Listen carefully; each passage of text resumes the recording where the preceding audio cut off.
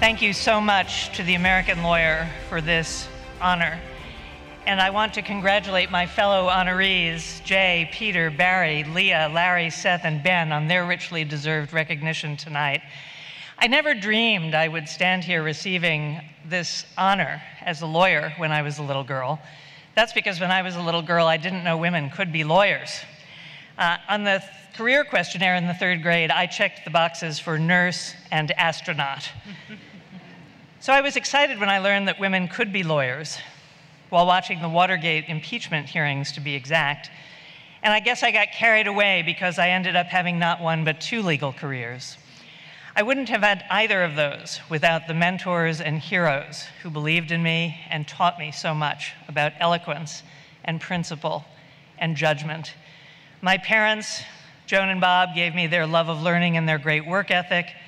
The great Judge Jim Oakes gave me that most enviable of first law jobs, the Vermont Second Circuit clerkship. My Harvard professor, Larry Tribe, invited me to practice constitutional law with him. My Stanford colleague, Jerry Gunther, invited me to co author the con law casebook I had studied from as a student.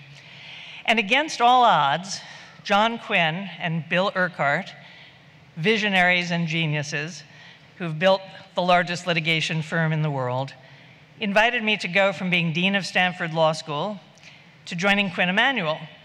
I think the over under among my new colleagues on how long I would last was about two weeks. well, it has lasted 17 years now, and they have been the most exhilarating and joyous of my career. John and Bill built a global litigation firm, and with their genius, enticed one brilliant partner after another to join it. And I am so grateful to count the greatest lawyers on the planet except for everyone else in this room, as my law partners. And so thankful to my partners, my exuberant partners at tables 32 and 33 tonight, in addition to. In addition to John Quinn, who I'm so honored is here tonight, and Peter Calamari, another legal genius who helped build our New York office and entice me there. I'm so happy to have my partners Mike, Andy, Sushil, Jen, Kevin, Chris, Brian, Derek, William, and Elodie here tonight. And I want to say what defines them as so extraordinary as my colleagues. Passion and excellence, to be sure, energy and zeal, to be sure, the kind of intellectual athleticism that makes litigation a team sport, but also two things we might rarely associate with big law joy and love. Joy and love is how we animate ourselves to win cases together. And joy and love is something that we got from someone who isn't here tonight, but to whom we very much owe all of our success. And that's our beloved Bill Urquhart, who we lost two years ago and miss profoundly every day. I would not be standing here were it not for Bill, who I met 40 years ago in a pro bono civil rights trial in the Big South when I was a summer associate at Cravath. And many of us at our firm wouldn't be here without Bill. I am so honored that Mary Urquhart and Elizabeth Urquhart are here tonight channeling Bill's spirit, and he's with us in spirit. None of us can do what we do without support from our families. I want to, above all, give immeasurable thanks to my beloved partner, Helen Stacy, beautiful, brilliant, infinitely wise, and indispensable to any success I've had in the last 22 years. And I want to close by just saying a few things about the law. We know the law is a business the American lawyer helps us celebrate what a great business it is to be.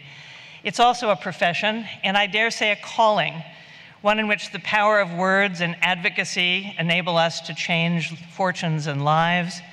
It is a place where precedent matters, and we are people who stand in the stream of the cases that came before us and will go after us. And we stand in the stream of the mentors who taught us and the proteges who will take our work into the future. So the transmission across generations of knowledge that's represented in this room is one of the most important things we do. I want to comment last on how the law is a portal to immense change. Women lawyers now have opportunities I never dreamed of when I graduated from law school in 1981, which happened to be the year that the first woman was appointed to the US Supreme Court and the first woman was made a litigation partner in big law. I, and when I worked on gay rights cases in the 1980s, before the term gay rights even existed, I never would have believed that today we would have the liberties afforded by cases like Lawrence Obergefell and Bostock. There is so much more to be done as the legal universe continues to bend toward equality and inclusion, but it has been an extraordinary privilege to be part of the dramatic change that has happened in my lifetime, and I am humbled and honored by this recognition. Thank you.